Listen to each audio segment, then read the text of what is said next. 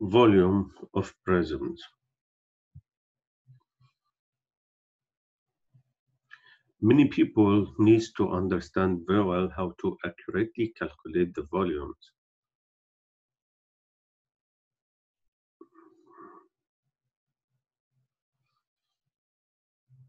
The volume of a 3D shape is the number of cubes needed to fill um, the inside of the shape.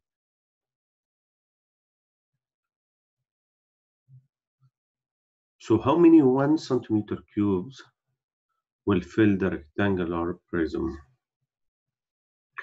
If it needs 16 one centimeter cubes, so the volume of the rectangular prism is 16 uh, centimeter cube. How many cubes does this prism hold? We are going to multiply the number of cubes in the dimensions. So we have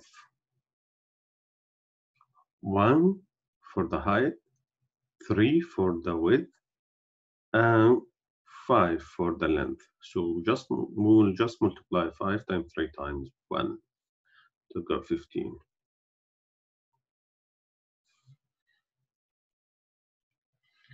The same idea I have the height here is 2 and the width is 3 since the length is 5 so I multiply 5 times 3 times 2 to get the number of the uh, small unit cubes or the volume of the rectangular prism.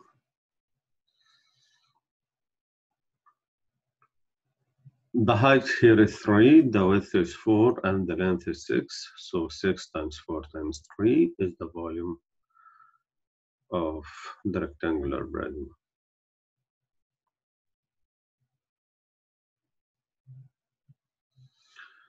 Then to find the volume of the rectangular prism, we just need to multiply the dimensions altogether.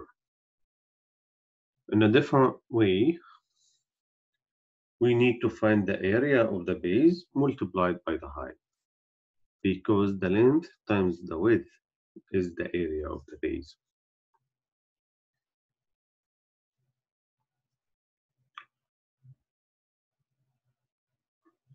The given rectangular prism here contains a height of 5 centimeters, um, width of 7 centimeters, and length of 10 centimeters. And then to find the area of the base, I need to multiply length width or LW. So 10 times 7 is 70. 70 is the area of the base, but if we need to find the volume, I need to multiply this area by 5. So 70 times 5 is 350.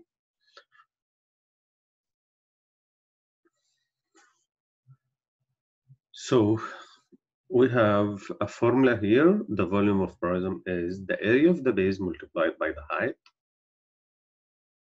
And we don't care, or uh, this formula is applicable for the a trapezoid prism, rectangular prism, triangular prism, uh, or a cylinder as well.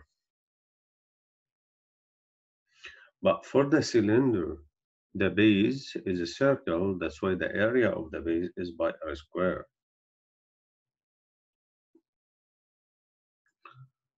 For the rectangular prism, the area of the base is length width. For the triangular prism, the area of the base is half BH.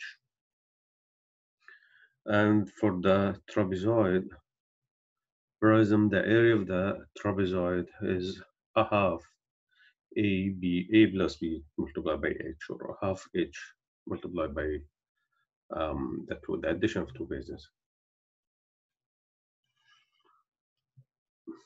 Example of a triangular prism the base here is a triangle with dimensions of height 4 centimeters and base is 8 centimeters. So to find the area of the base, I multiply half times 8 times 4, which is 16 centimeters square. And to find the volume, I multiply by the um, length, which is 6. So 16 times 6 is 96 centimeters cubed. This uh, trapezoid prism contains two bases in the base, 6.5 centimeters and 1.5 centimeters. And the distance between them or the height is 4.2 centimeters.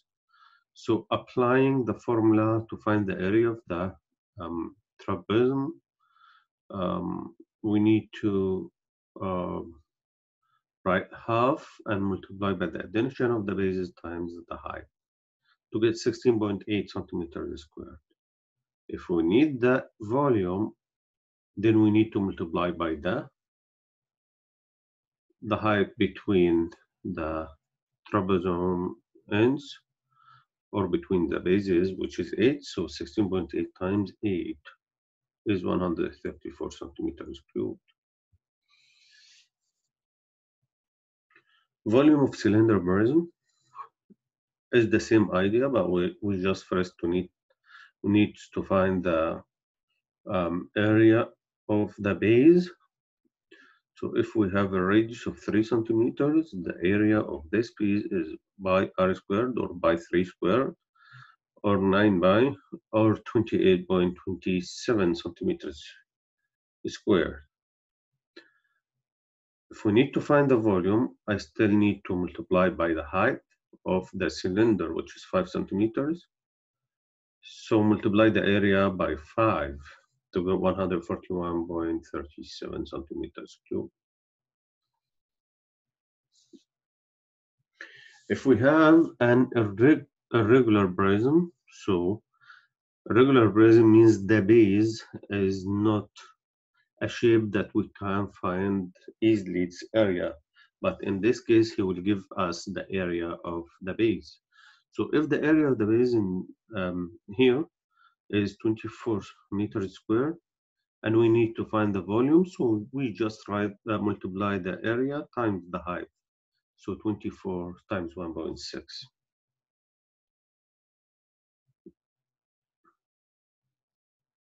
Some more formulas of different prisms.